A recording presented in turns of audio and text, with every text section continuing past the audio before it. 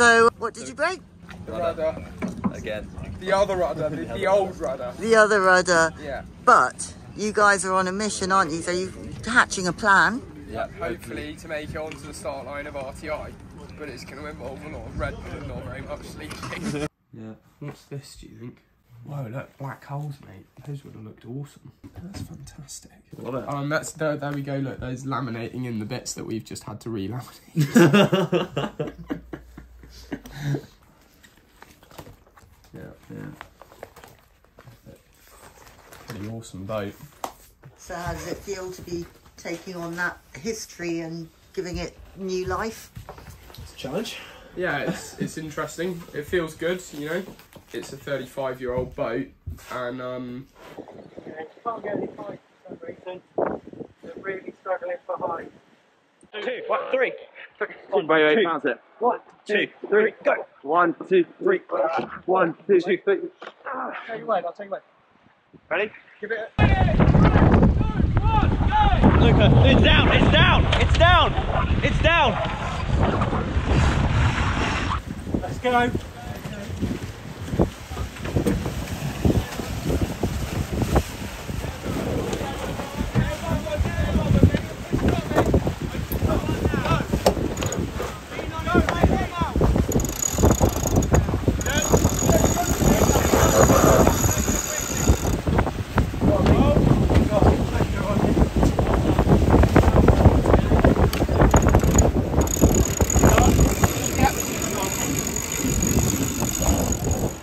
you know, well, it was a Formula 28, wasn't it? So you wouldn't expect to take a 35 year old F1 car and have it work perfectly, would you? So um, we're kind of yeah in the process of putting her back together and working out how to race her again. So Good breathe here. finish here, getting closer. That's count one pulling ahead of Slinky. See if we can take third over the water. Good pressure. Good shift from the team on D1. So I am a placement student at Multimarine. So I'm studying marine engineering at Plymouth University, uh, which is, you know, something that I sort of came to through growing up sailing. Um, and for my placement year, I came to work here. Um, my family's been involved with the boatyard for a few years, and just seemed like a good place to come back to. And that's that's sort of where we met D1, or where I met D1. Uh, so yeah. Okay. And how, have you been enjoying your work placement? Oh, it's great, yeah. Best placement in the world. Hate to go sailing.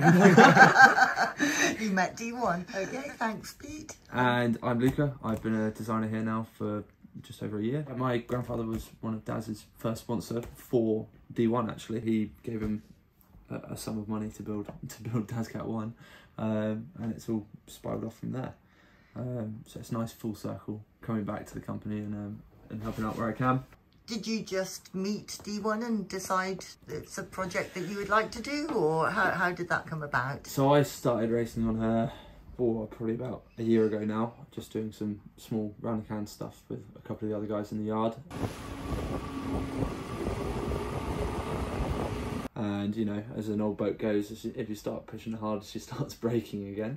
Um, that's where Pete came in. Um, once he started, he's our main fixer. yeah. The first time I ever sailed her was a race offshore-ish Yeah. sort of distance race from the Sound, and uh, it was about 20, 25 knots. 25 knots, we're about 10 miles offshore. Shore, and the the rudder, the rudder broke. Um, snapped on us. so that was that was my first experience of D1, and I was kind of just clinging on for dear life and feeling very out of my depth. So.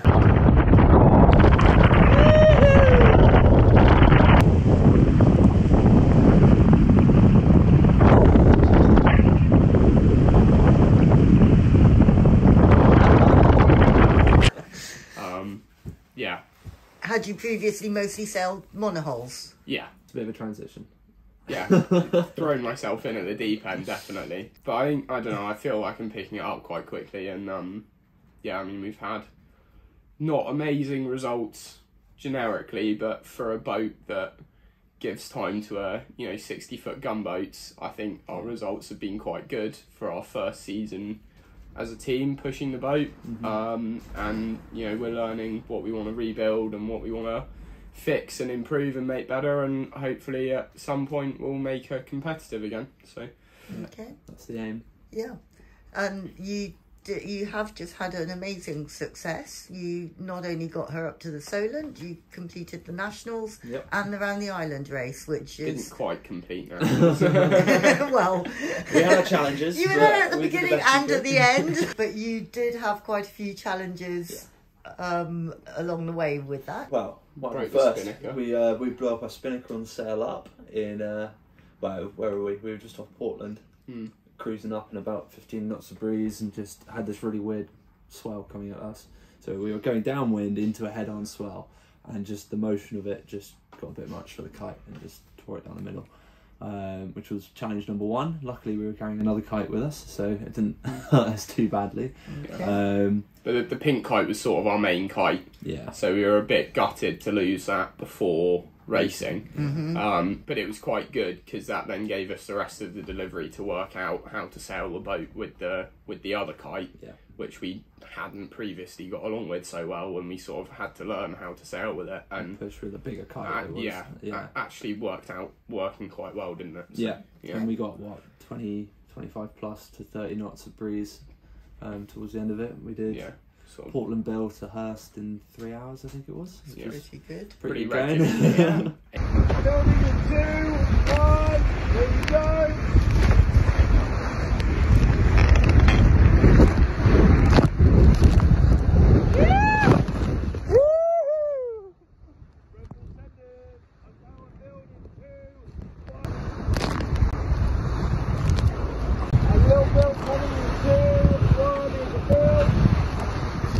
Fucking shifting.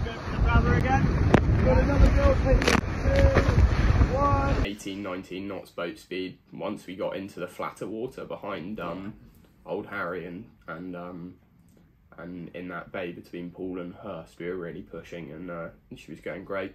Yeah. Um, She was pretty happy in it. In, Yeah. In the smaller swells. Um, then the engine decided it didn't want to be an engine anymore. yeah. So came in with no engine. Had to sail onto the pontoon at Cowes, uh, which is you know what you got to do on that boat. we did that twice that week actually, didn't Yeah, we? Did. So, we did. sailed onto the pontoon twice. But yeah, got it there all in one piece. Managed to get the lovely guys at Highwater Sails to lend us another set of spinnakers, which we didn't which we didn't end up using in the end. Okay. But it was nice to have the option. I, th- I thought Andy had spent some hours Yeah, as well, well. so we went and we did the first day of racing at nationals, which was awesome. yeah. Um, had one really, really good port flyer start and scared a couple of other competitors. You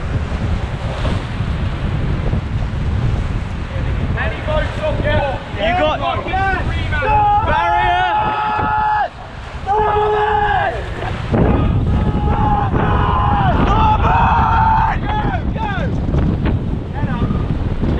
I'm fine.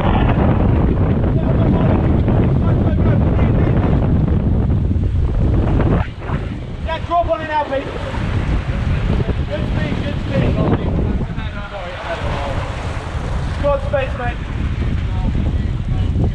Um, but sadly, on the last race of the day, we ripped our spare spinnaker.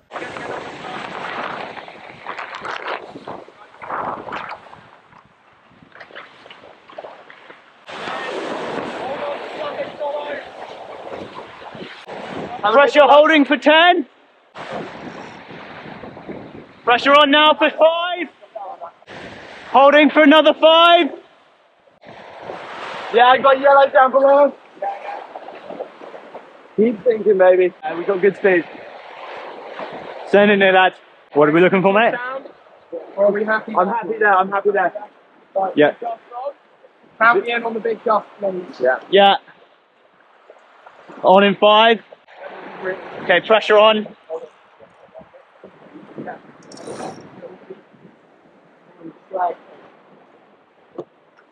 Right, yellow's down there still. So what are we doing? Uh, partners. Yellow one there, then we're looking for a green, big green and way out. Way. Yeah, go in.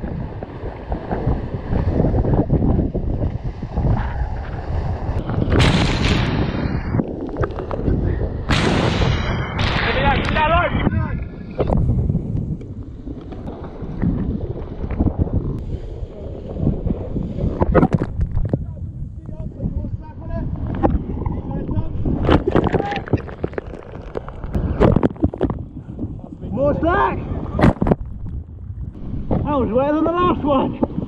Three, two, one. Tack's gone.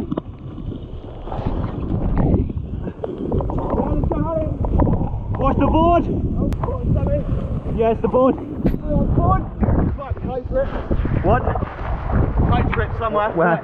Look, look, look. Oh fuck. Well, we'll see what happens. Tight grip. Yes. I think we're just gonna have to put it up and see what happens. You went through the spreader. Uh, you got all the spreaders on the kick. On the spreader. I need to have very quickly powered. See if you can get this board up, Tom. This one. This one, this one, yeah, yeah. Fucking. Wiggle like your fucking life depended on it.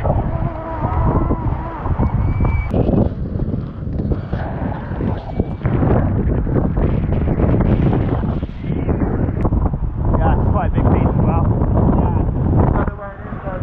Yeah. We've got two options. Put the kite up.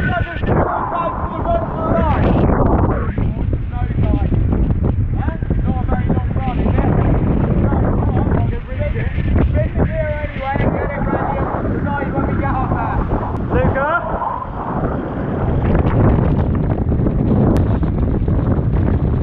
I might need you to catch it. Or if we're going to tack, I might do it on the other side. Then I'm tucking round.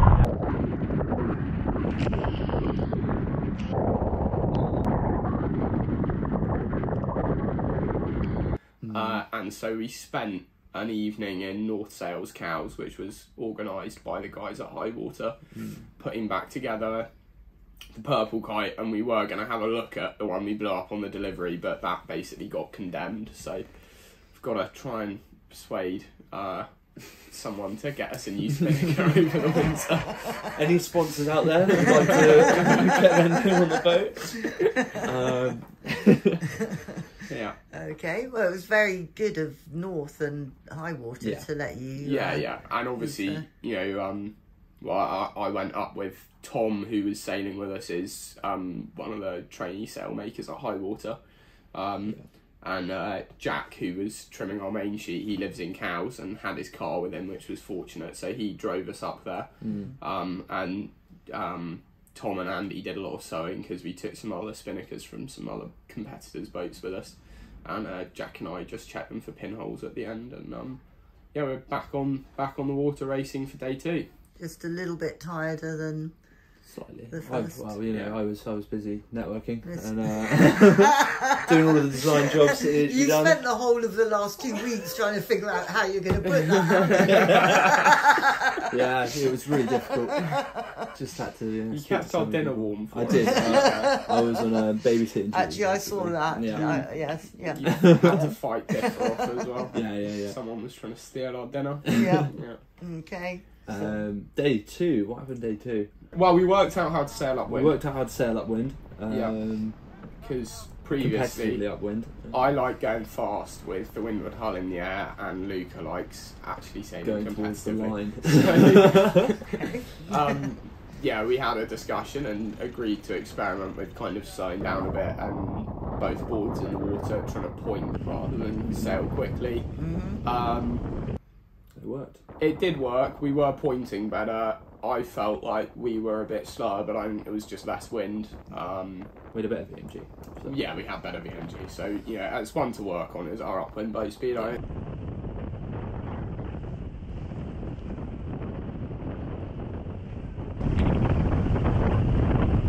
We've not got any problems with downwind boat speed. You know, we were pretty regularly leading the fleet at the leeward mark. We just lost it going upwind. So um, Yeah. Well, then we had the coastal race to Yeah. Nab End. What was it Nab Tower? well, it was start off Wootton Creek, Yeah. sail basically down the Solent Channel out of the eastern Solent, and the last red can there is Nab End, and then we went round that out to Nab Tower, and then back into the finish line at Bembridge. And we Um, were shifting.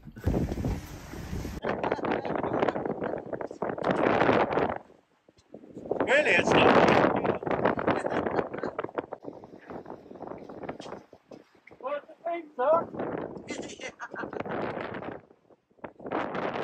What's the thing, sir? second boat on Second line boat. honours. Second Um, boat rounding Nab Tower, Yeah, and then on the way back in, just the wind kept building, and it was we had yeah. full rig up, uh, just main and jib, and we were cruising at uh, what, 16, 18, 19 knots really. Yeah. There's a Farrier trimaran called NRB, which is a bit of a machine. When you look Yeah. at it, it's got C-foils and everything like that. And they were the only boat at the event that was faster than us on handicap. Yeah. Um, and we had them in our sights. They were they were getting bigger and bigger. Uh, and afterwards, they said like we could see you coming up behind us. Uh, and the boat really just had the bit between her teeth. You know, um, if you look at the videos, it looks like she's being pushed, and we were pushing her, but it you know everything felt fine. The the helm was very balanced. Um, you know, she felt like she could take more. And normally, when you start pushing her too hard, She'll tell you you. can feel that. Yeah, she's actually a very communicative boat. So we felt very confident. I felt very confident driving, but then there was this like very familiar and very horrible noise of splintering wood, and I looked down, and the uh, the rudder. wooden rudder, the one remaining wooden rudder that we hadn't fixed over the winter, had um, gone out sideways, and uh, Yeah. At exactly that moment we powered up as well. So the last thing that rudder did before it disappeared over the back of the boat was head her up into the wind and, and bring her back under control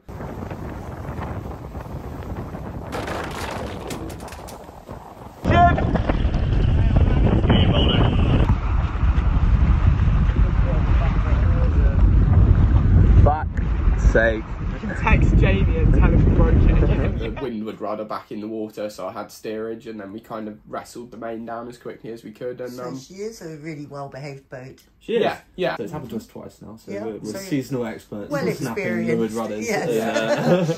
Uh, so But, ho- yeah. hopefully they'll both be sorted. yep. And, Yeah, yeah um, well we're, we're hoping to put a new steering system on the boat with Okay.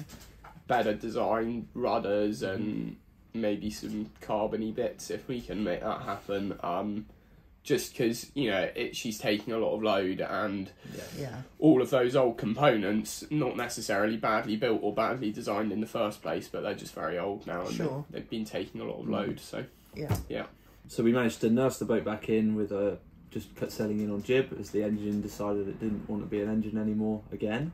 So we got a race Yeah. officer to come tow us in basically, um, which was very nice of them. Um, ended up pulling into the yard with our snap rudder and kind of formulated a plan very quickly.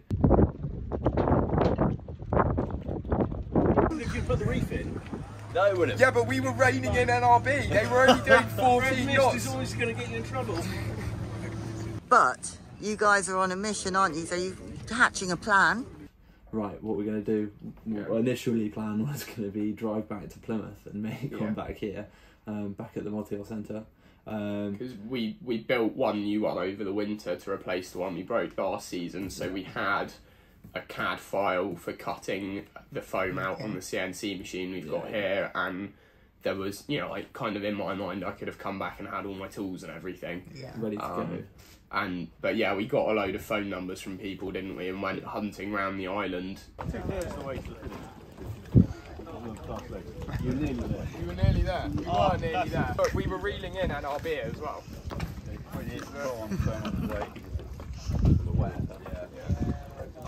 So a very kind boatyard just over there has offered to give you a hand to fix them. Definitely. PVC. Excellent. Good luck. See you later. It turned out that the boatyard in Bembridge, that was just down the road from where we were tied up, had Everything we needed. just Walk, I remember it was just a walk in, knock on the door, and like, please, Yeah. is there any chance you have foam and enough carbon fibre? well, the initial plan was to try and stick a blade back on the bottom of the Yeah. broken bit. When we arrived, it looked like a very traditional boatyard, and we were quite sceptical about our chances of finding Everything what we we were needed, after. Um, and then suddenly, they were, oh yeah, we've got this little bit of foam here and that little bit of foam there, and there's a roll of carbon that we bought off Lamborghini or McLaren or something mm-hmm. like that. They had like Just some around. really, really Yeah. nice carbon that they'd got from a racing car manufacturer, and um, we kind of thought actually we can just build a whole new one, and that will be better. Um, That's amazing. Yeah. They were. So, what was the name of the boatyard? And Will Smith. Will Squibb, or William Squibb Boatyard. So okay. shout out to those guys for being Yeah, yeah. very That's Yeah. amazing, really. Yeah, yeah, Um, very kind of them. Mm. Um, and you know, they just left us in one of their sheds overnight with a load of tools and everything. It was very trusting, you know, very kind of them. 24 hours after breaking the rudder, we were back on the water, Yeah. um, which is, you know, I think that's quite an achievement for anyone, really. Drew round the non broken one and cut that out of a piece of foam and then shaped yeah. something that was roughly foil shaped with an angle grinder and then just covered it in lots and lots of carbon. And off you went. And off we went, yeah And then we went out the next afternoon and um, went for, we missed the last race of the event, Yeah. which was a bit of a shame. Uh, but we thought we'd go for a little sail anyway, and we sort of came out of attack. And um, Tom's like, oh Pete, the tiller's just come off in my hand. so yeah, snap the tiller. so we broke the tiller. Yeah. Um, which was another. Wow, we repaired it the next morning, didn't we? Yeah, but again, it was like we went back to Will Squibb, and we were supposed to be going back in the morning to give them the billing address and everything to, to send them bill for the materials to. And we went back in and gave it to them, and then went, "Oh, I don't suppose you can help us with this as well." But again, they were very, very handy and Yeah. really accommodating and really Mhm. nice. And um, Nice. we managed to get some stainless off them, drilled some holes through the tiller bit, and uh, Yeah. bolted it all back together. And um, Yeah, basically a cut and shut with a load yeah, of bolts through it. So Good it's job. been uh, quite an educational process Yeah. as Yeah. well. and a emotional and physical roller coaster as well. Yes, yes.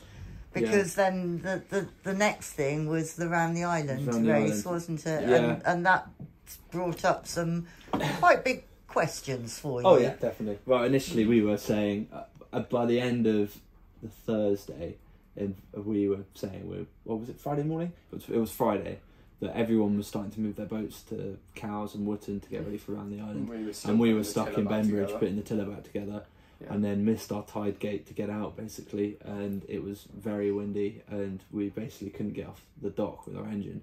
So we were kind of stuck in Bembridge, being like, "Oh God, we're not going to be able to race." But also, it was very much in our minds that we've just broken the rudder and just snapped the tiller. Yeah. What else could go wrong, basically? Yeah. And the, the forecast for around the island was looking pretty pretty full on. Yeah. Um, So at that point, we had to make a decision on: do we actually want to try and go for it, or do we want to?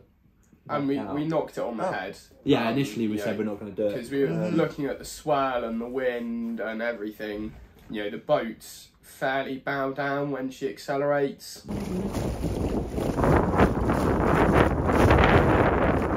Yeah. and with big waves that gets quite sketchy.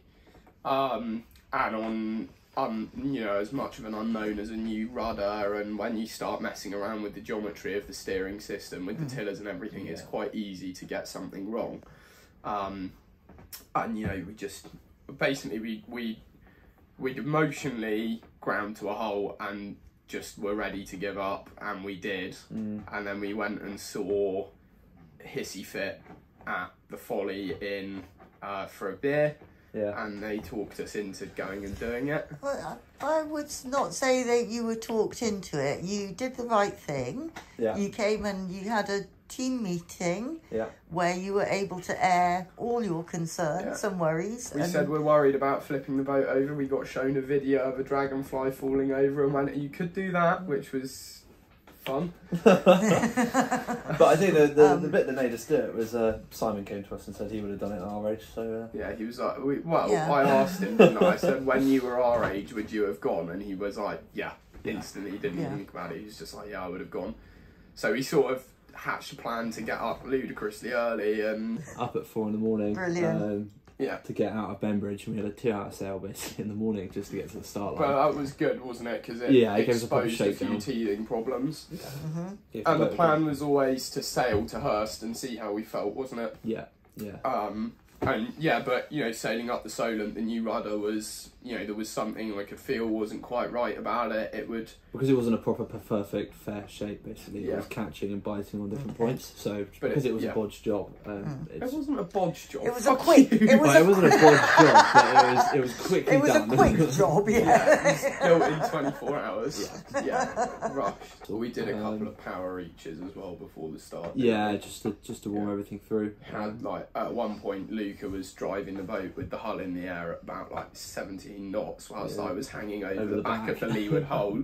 Waves trying to wash me over the back of the boat just, so I could have a look at what was Yeah. going on. was going so Um, but yeah, it, it was very random and difficult to predict, and it would try and aggressively turn the boat to port every Okay. time it happened. So, um, you know, then you think, well, you know, I can just fight that, but then you're Mm. putting a lot of load through the Mm. tillers, which are structurally not- under question. Yeah. So, you know, we we said we'd start and sail down to Hurst and see how we felt. yeah Um, but pre-start, we saw a lot of um, excited people. Uh, Nigel on Triassic was very excited and sort of like Yeah. whooping when he saw us, and Brendan Brendan, as well. Mhm. Um, everyone who we saw, who we knew, was like, "Go on, boys, that's really good, well done." So that and, kind of um, kicked us spurred into another on. gear yeah, well, it. Yeah. we, we got to Hurst, and I was like, "I really want to turn around. This doesn't feel right, but I can't bring myself to sail back past them, so we're gonna yeah. have to keep going." Excellent. yeah Good. And are you glad that you did it? oh yeah 100% Yeah, it was It was. it was- was a very full on day it was It was. terrifying. yeah You know, constantly, basically from the needles to the finish line, felt like we were nursing the boat home. Yeah. Um, and you know, we weren't at all in full push mode. Yeah, no, we Um, were very much. It was very much. Let's look after the boat and actually make it Yeah, round. sail 'cause We just want. conservatively. We just want to finish basically. Yeah. But Um, even saying that, we still had points where we were pushing pretty hard. Yeah. Um, We So we got- flip it over. yeah, we we were so we tacked up to Hurst. Up to Hurst, everything was feeling all right, really, wasn't it? Mhm. We were where we were usually sat in the fleet of of trimarans and cats. Um, sat in a pretty comfortable position.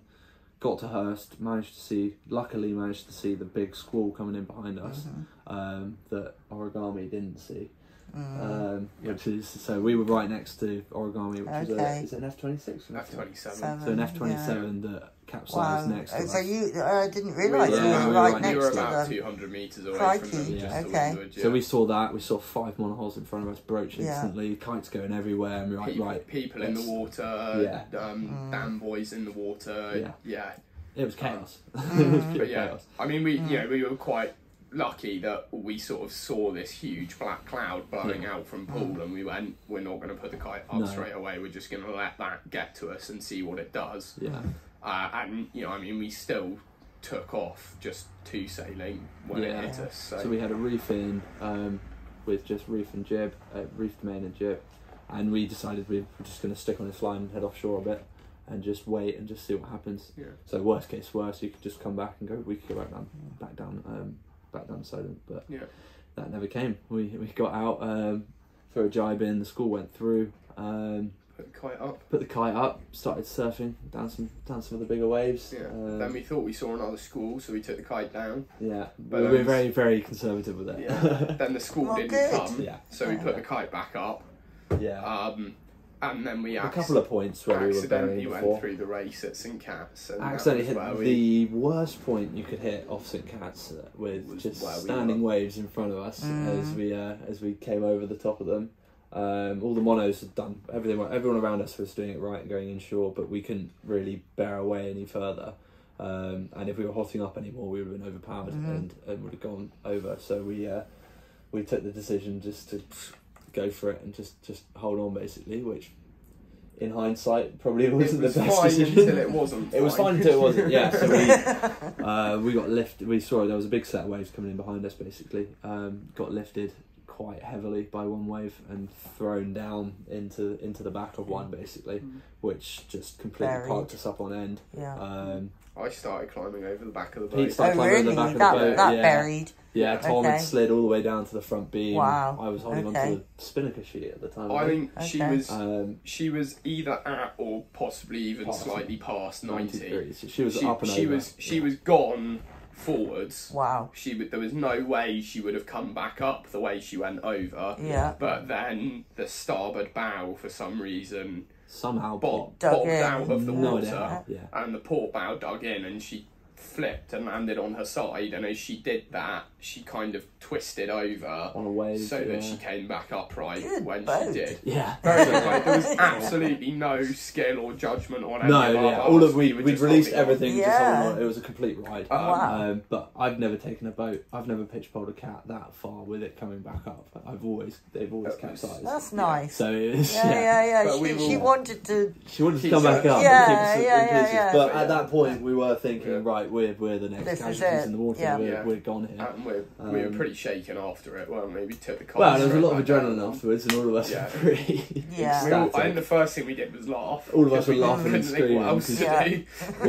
we, yeah, you, you get to that Uh, point. Can and you're like, understand that. Yeah. And then the Yeah. shakes kicked in. Yeah. I certainly, you know, as the driver got very shaky Mm. for a little while So we took it. We took it a bit chill. Went into into bay the bay off Ventnor. Yeah. off Ventnor and just came in, t- taking it Yeah. slow basically, and then the- what was it? J80 J80 us we went, overtook We're not having that. yeah. So we put the kite Put the back up. and that's where we came across the Gunboat. gunboat Coco de Mer that had um, obviously flipped, um, and yeah, sailed past them, and at that point got hit by another squall, which powered us up Took the kite back down and almost almost flipped us again. But yeah, we took the kite Did back it? down. She's never actually previously lifted her sterns in a Yeah. berry. She just goes whole boat underwater, Submarine, stops, basically. Right. Okay. and then you let go of everything, And it come- go, pops back and up. And then she just depowers a little bit, pops back up, and keeps Mhm. going. Yeah. So, um, yeah, Well, it's really good to learn how the boat handles in those yeah, absolutely. variation and it of was Luke and I's conditions. first ever around the island. Yeah.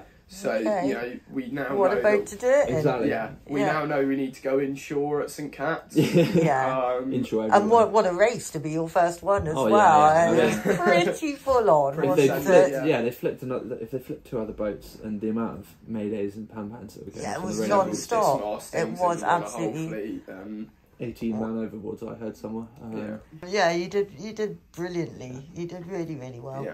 Um, And yeah, I mean the beat up the Solent was quite stressful as well.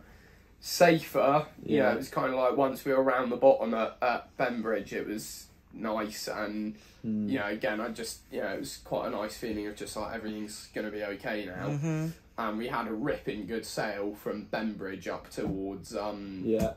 Ryde, Good little fight with some Yeah. Cape Thirty Ones. screaming past yeah. Okay. K thirty ones. But then we got into Ryde, wind over tide, chop in the Solent, and that was just like brutal. underwater Mm. Yeah. most of the time. and we yeah. had to short tack up the south shore. She doesn't accelerate enough out of attack to make short tacking Mhm. really pay. Mm. But you know, we didn't really have a choice. I think so. No, um, but we, we we climbed some more places there. We, Yeah, we, yeah. we were definitely hunting down some other boats. Yeah, Um, and once we once we cleared Ryde Sand and we were up into um, Osborne Bay, we made up some real real places, Yeah. didn't we? in the flat Great water, she's a rocket ship. So Yeah. um, yeah. Um, And then, Great. yeah, Yeah. got into the finish, all safe and sound. yeah. Engine stopped working again, but we were used to that. So Saw- uh, I saw that. yeah, so we had to uh, sail in onto the pontoon at Cowes again. Um, Yeah. And yeah, that was that was uh, the conclusion of it, and we did it in seven hours, seven hours forty five, I believe, in the end, hmm being conservative. Still going. We're going to get a rip. Very impressive. Great nice go around the bird.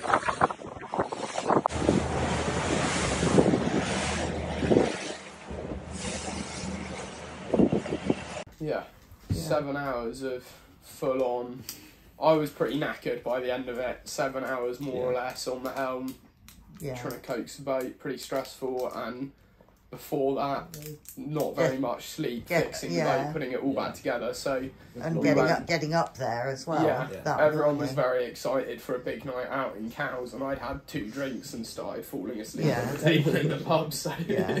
But what a, what an experience! How old are you, Pete? twenty-two. Twenty two, and Yeah. Luca Twenty three. twenty three. So, yeah, Yeah. great experience to Yeah. to have, Yeah. and um, yeah. Yeah. Is there anything else that you would like to add? Uh, please, someone buy us a new spinnaker. And, um, hopefully we'll be back next year with new rudders and Yeah, daggerboard cassettes and it's see if in we can break Darren's record. So we've got yeah four hours, four hours forty five minutes to beat. So that's what we're Okay. going for. Yeah. Yeah. Um, Four and a half. four and a half is what we want, which is Yeah. what Orion did it in, which Yeah. is one of the Firebirds of a Yeah. similar size. So uh, Yeah, yeah. We just we've got to beat a Firebird.